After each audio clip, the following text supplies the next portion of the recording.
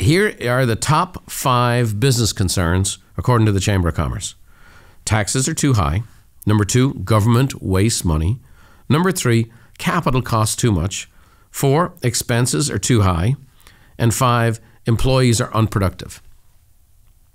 Believe it or not, that was a survey that was done at the end of 2022.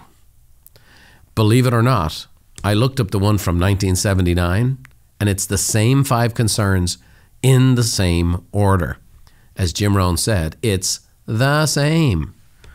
And we need to be encouraged by that. We need to be encouraged. It's just, it's everything's gaslit and everything's 24 hour news cycles. And what happens is all that stuff just wears us down and wears us down. It takes us to an anxious place, it takes us to a fearful place. We just don't know what the future is going to hold.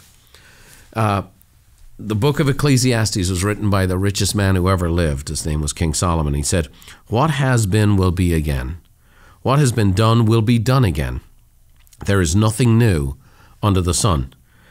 Marie Antoinette said, There is nothing new except what has been forgotten. It's amazing to me what we always forget.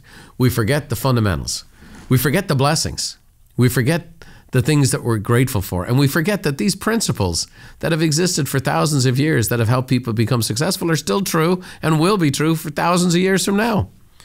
And we can lean into that. So it is all the same. Secondly, distribution is new, but the content's the same. So we used to uh, see people on a train. I, I used to show this image at our seminars of a train full of people. In those days, it was men going to work, a black and white photograph, and every single person sitting next to one another on the train. 100% of the people with their nose in a newspaper. And then I show a picture of today and, and a similar train with men and women and people of all kinds of colors and ethnicities, but everybody with their nose in a phone. It's the same.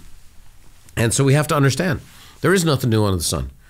Now, there obviously has been changes in the technology and changes in how we go about it. And there's a bombardment.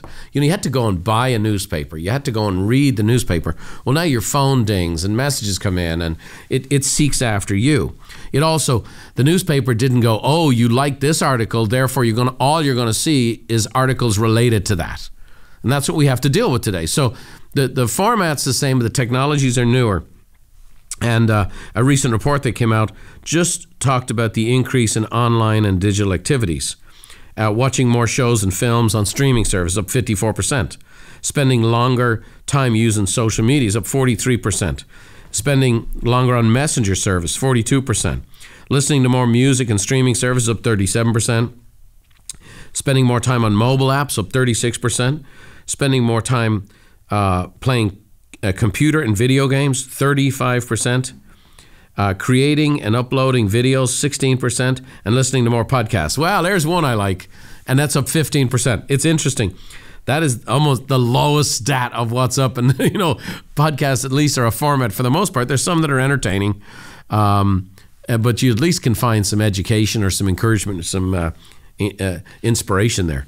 The fact of the matter is, all of those dynamics are up. I, I would say very few of those categories I listed off are helping you control your personal economy. Uh, Christian Louis Lange said, uh, he was a historian, he said, technology is a useful servant but a dangerous master. Uh, Steve Jobs, technology by itself doesn't create leaders. Technology only amplifies true leadership. The start of the year, I deleted about a third of the apps I uh, go to. Um, I have radically reduced the amount of time I spend on uh, news. Um, and I've also made it a goal that every week this year, uh, when I look at my iPhone and it gives me my little Sunday report, that the number of hours or time I spend on the phone goes down every single week. So I'm making it a commitment that every week I'm going to spend less time on my phone than I did the week before. Uh, the, the third part about how there's really nothing new is that negativity sells. Uh, a recent study by an organization called Quora showed that 90% of media coverage is negative. What is the media in the business of? Are they in the business of reporting news or what? No, they're in the they're in the eyeballs business.